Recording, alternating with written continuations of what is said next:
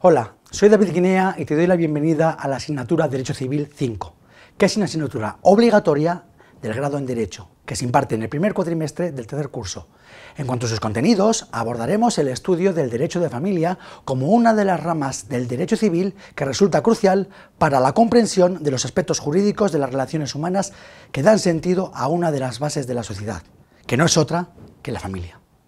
En esta asignatura abordaremos el concepto de familia y su protección desde la Constitución.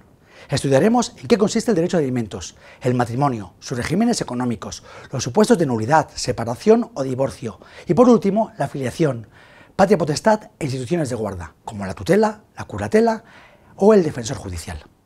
El objetivo es que el alumno asimile con suficiente profundidad los contenidos objeto de estudio que mediante una aproximación tanto a los aspectos teóricos como a los prácticos permita una mejor comprensión de la materia.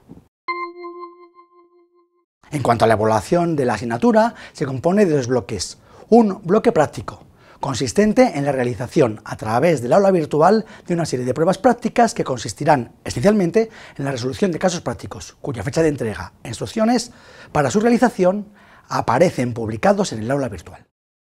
El valor de este bloque es del 20% en la calificación total y para que pueda computar en la calificación final es preciso haber superado la prueba de evaluación final tipo test, la prueba presencial, que forma parte del bloque teórico. Este bloque no es reevaluable en la convocatoria de junio. En cuanto al bloque teórico, al que acabo de hacer referencia, consiste en la realización de una prueba de evaluación final tipo test presencial, de 20 preguntas, y cuyo valor en la calificación final es del 80%.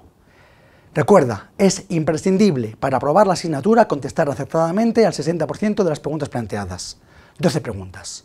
Solo en este caso se sumará la nota del bloque práctico con la del bloque teórico.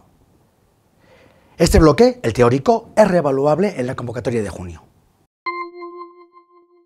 Quedo a tu disposición por medio del foro general de la asignatura, a través del aula virtual, donde podrás resolver cualquier duda o cuestión que se pueda plantear sobre la misma y que sea de interés común a todos los estudiantes. También quedo a tu disposición por medio del correo electrónico de la asignatura que encontrarás en la página principal del aula virtual. Además, dispones de las videoconferencias que desarrollaremos a lo largo del curso, que están debidamente programadas y que se quedarán grabadas para que las puedas visualizar cuando quieras. Por último, también puedes acudir a las tutorías online, que previa cita se realizarán por videochat o videoconferencia. Puedes consultar los horarios de las mismas en la pestaña Profesor dentro del aula virtual. Para finalizar, me gustaría trasladarte mi deseo de que aproveches el curso y que espero que la asignatura sea de tu agrado. Un cordial saludo y espero verte pronto.